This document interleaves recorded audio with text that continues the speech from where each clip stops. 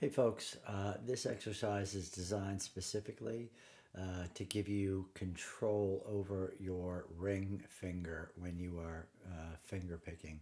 The pattern is exactly the same except the first time through.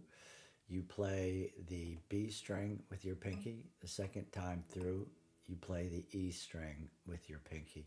And it sounds like this.